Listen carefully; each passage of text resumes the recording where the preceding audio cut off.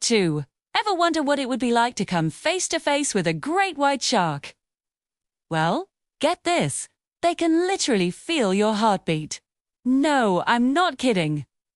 It sounds like something out of a horror movie, but it's totally real science. Sharks can sense your heartbeat from feet away. So, how do they do it? These incredible predators have special organs called ampulla of Lorenzini. Think of them as supersensitive bioelectric sensors scattered around their snouts. Every living thing, including you, gives off a tiny electrical field when its muscles contract.